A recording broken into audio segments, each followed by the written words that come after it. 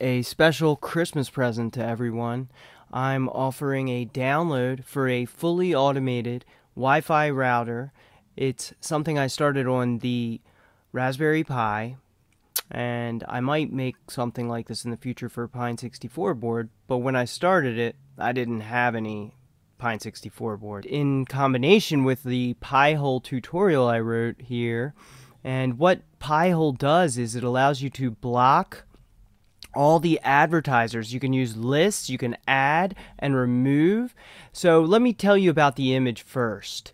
So this Christmas present image comes with a customized router image, its own recursive DNS server, which is called Unbound, helps increase your privacy as well. It has a changing Wi-Fi access point MAC address on every single boot with leak prevention using WiPri, the scripts I wrote, and one of the reasons for this is because our Wi Fi MAC addresses are mapped out by various advertising related database companies and otherwise. Just take a look at the WiGLE database to see a public example of this, and that's one reason it does that. You can change those settings, you can change the Wi Fi flags, and um, basically you can disable that if you want a static all the time same MAC. By default, it also has a log watch that monitors logs for suspicious activity. It emails them to the user account. It has port probe detection that includes stealth probes, so SYN probes, and different things like that, and it'll notify you upon any machines in your own home network that might be probing around for services. So it's kind of a little forewarning there. It also blocks the Intel Management Engine's default ports for every single Wi Fi client network wide. And one of the things people don't realize is you can't block certain things that are built into the hardware unless you do it at the router firewall level. And that's the reason for this. And it's all automated. Everything's already set up for you. It has Pi-hole to block the ads and the unbound recursive DNS server. It grows to meet the size of your SD card. And I wrote a new service on this one that has automatic upgrades. So it'll add its own security patches without any input from you. So all you have to do to get started with this, download the image there's a screenshot of Pi-hole's interface showing you the statistics of different things it has blocked. But download the image. I have the page as a Christmas present. It's open for one week, so you can download it for the next week anytime. Follow this tutorial on using it. You just I have the instructions here. Download the image, then extract using the Linux command, for example, unxz decompress filename.exe. Then you'll get the .image file in return. You plug in your Ethernet cord between the ISP router and your Pi. You flash that image file you downloaded to an SD card and it will automatically expand to meet the size of your SD card so you don't have to worry about anything really. You power on the Pi after the Ethernet and the SD card is in and then simply log in by SSH to the default username. Or you can use an HDMI cord, hook it between your Pi and your television set. Use that, that will allow you to use your television set as a computer monitor. And at that point, you can just use the input button on your television. But of course, you have that option to SSH, which I usually do. It's already set up, everything. It's got brand new SSH keys on every burn. So you, if you have multiple routers on your network, you're not going to have to worry about conflicting SSH keys. It automatically sets custom options for you from the user's first login. So you'll be able to set your SSID for your access point. I suggest choosing something nice and generic. Since it changes the Wi Fi MAC address at every boot, it's going to look like a new access point every single time you reboot. And as mentioned, the mapping out of Wi Fi is very common, prevalent, and the databases are public. So your client machines actually spit out your saved SSIDs. And that's why I suggest choosing something nice and generic. That way it shares locations all around the world. So simply set your ISP router to the IP address of this Pi running this Christmas present image, and that will use it as the DNS server that is built in for your ISP's administration page for the router. So just log into your ISP's router, uh, set the DNS settings where your main DNS server should be this new Raspberry Pi image that I'm offering you guys. So that's all you have to do. Now you can take advantage of everything. So go ahead, follow the above steps, hook up your Ethernet, hook up the SD card into the Pi, power it on, log in for the first time using the default username of user and the password of router pass and exclamation point. I have all that information at the link. You can see an example of what happens when you first log in. It expands to fit your disk.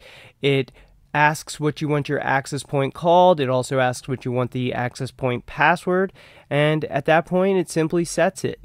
You can also later set up VPNs if that's something you're interested in on this router. You can turn it into a VPN router. Um, I'm offering this as a Christmas present just to say thank you guys for supporting me. Thank you for helping share my work. I really appreciate it and I do need your help. This kind of content sometimes doesn't get naturally promoted in the algorithms, and that's a real shame because I think privacy content can be the most important topic of our time. We are at a huge crossroads in the technological world, and we have to make a choice where we're headed.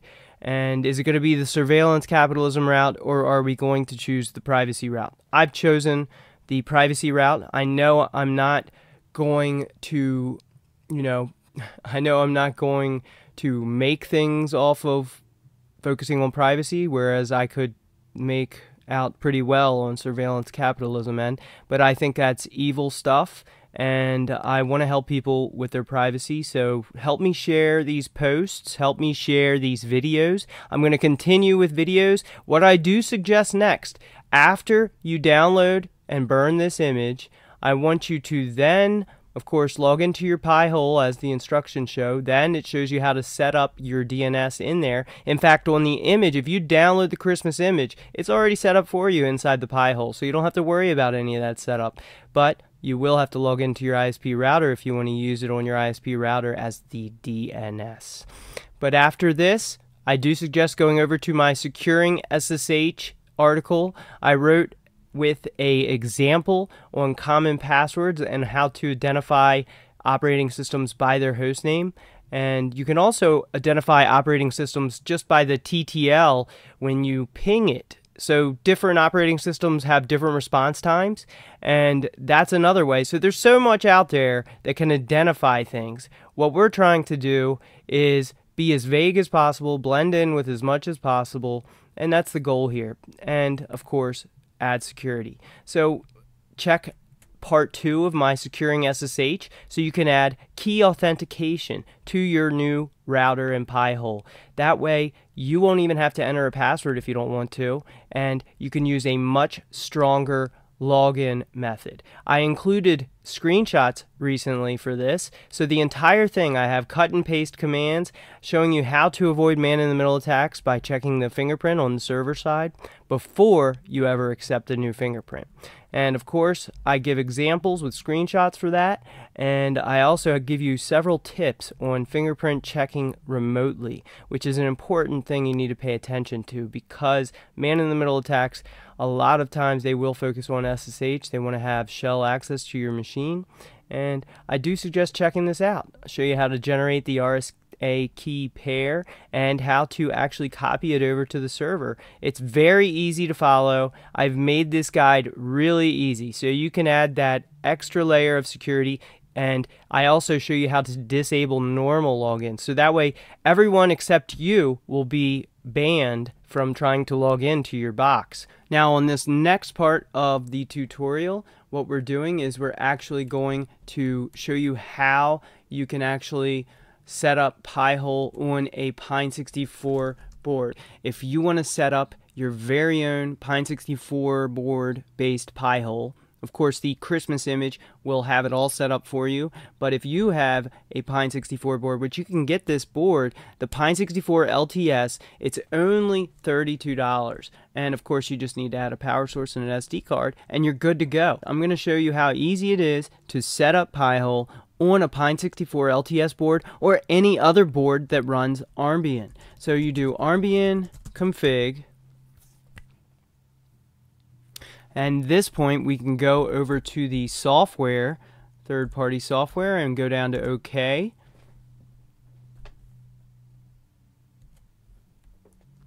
Go down to the uh, third party application installer.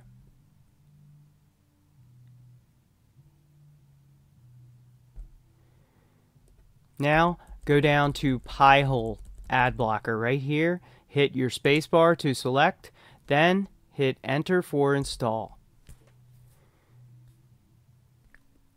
At this point, we are looking at what it takes to install Pi-hole on Armbian, which is being done in this example on a Pine 64 A64 LTS. And here we are. It's going to install it and offer you several different things that you may need. So I'm going to go ahead and select yes. I am going to use this as a static IP address. And at that point, what we want to do is select our network interface. I'm going to select Ethernet because that's how this is hooked up. We'll go ahead and select our upstream DNS server. What this means is what DNS server do you want Pi-hole to use in order to make new queries. So we're going to go ahead and try the Quad 9. That's one of the good ones. Also OpenDNS is another good one if you're looking for privacy. So we'll go ahead and try the Quad 9 and the filtered DNS SIC setting here. And then we're going to use Steven Black's Unified Host List, already all on there. So if you have an Armbian, it's really simple to do. And we're going to install the web interface because as you as I showed, it's very easy to manage this way.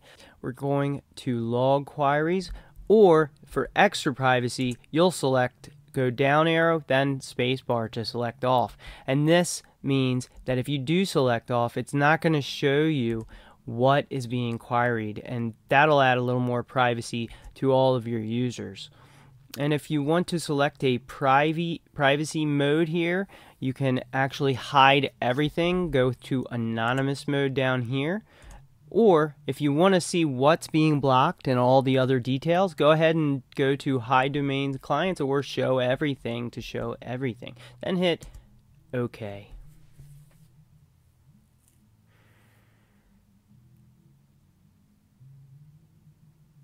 Now that it's installed Pi-hole, we can go ahead and log into it. First thing you'll want to do after you set up that first login, just log in with the default. It'll allow you to change your password there. It's all automated. You set your SSID and password. The rest is done for you. And then you can go over to the IP address slash admin to log in to your Pi-hole. And then hit login. And at that point, you're going to be brought over to this page and you may not have the statistics I have, but that's because I've been running this for a day. And you can see already today I've had 220 queries blocked. This is a brand new test image of the image that I'm sharing with you guys as a Christmas present. So what I want to show you next is go over to your settings and if you're not using the image that I'm sharing, go to DNS up here and you'll have to set these settings on your own. But if you do download the Christmas present, this stuff is already added for you. So you won't have to worry about that. All you'll need to do is use it as your DNS server on your ISP router and use the Wi-Fi access point as a new isolated, secure network away from your ISP's ability to collect the MAC addresses and host names of your devices that connect to this more private access point. And that's the whole point of it all. So it's got everything you need. You can take a look at your whitelist here and you also have a blacklist where you can simply add domains that you find harmful. I turned off the logging here because I wanted it to be more private. I didn't want all the details of the browsing to be in here, but you can turn that stuff right back on. So that's what I have today, guys. I want to wish you all a very Merry Christmas and a Happy New Year. I hope you enjoy this Christmas present that I'm offering, and um, be sure to Show your support by sharing these articles and videos, and I will be back later next year with more on how to protect your right to privacy.